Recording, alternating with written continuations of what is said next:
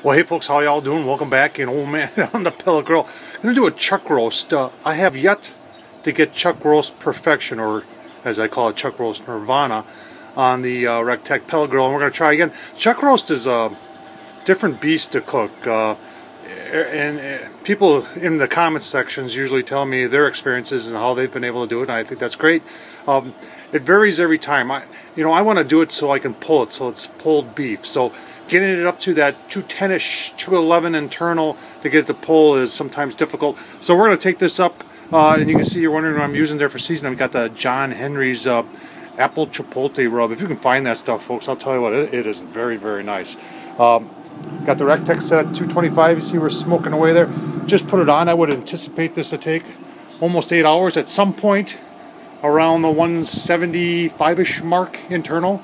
I will be wrapping it with some uh, beef broth and putting it back in. And uh, you, I'll keep cooking, folks. Uh, why don't you just keep on watching? All right, folks. Uh, three and a half hours into the cook, uh, the Rec Tec sitting and bumped it up.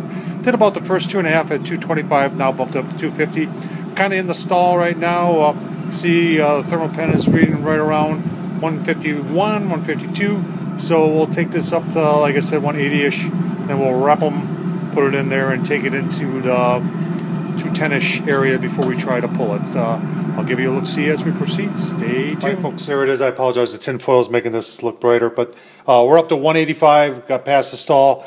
I'm going to add uh, some uh, carrots and uh, some taters.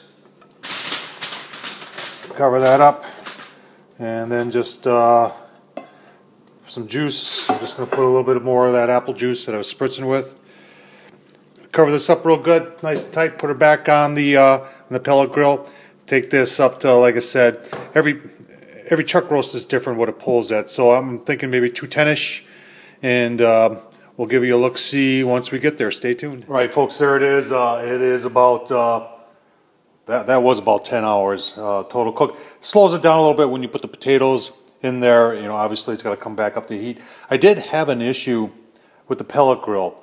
Uh, I had a uh, first time, um, two and a half years with the Rec Tec Mini, and uh, we, we had a pellet jam. So uh, fortunately, I, I was out there and I saw the temperature going down, and I listened and I couldn't hear the auger. So I was able to save everything by taking this all in a tinfoil and putting in the oven at 300. So the last uh, last hour was in the oven, so I admit that. But uh, we did get all the pellets cleaned out and got the pellet jam out of there, so the, the Rec Tec's good to go. You can see our uh, pulled beef here is, uh, I'll tell you what, look at that. I mean, that's that's what you want out of a chuck roast. That is, uh, heard me say this before, but that's right there. That's, that's chuck roast nirvana right there. Got the potatoes in there. Gonna make myself up uh, a sandwich. And uh, folks, hope you give this a shot. Uh, chuck roast is probably one of my more favorite things to do.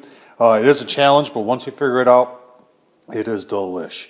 And folks, uh, I got I got to take a, just a little bit of a taste test here. see, we got a, a, nice little smoke ring on there, and just see. Nice smoke, nice smoke. Apple juice and that uh, seasoning we put on there was fantastic. Folks, thumbs up, leave a comment. As always, I can't say it enough. I do appreciate you watching.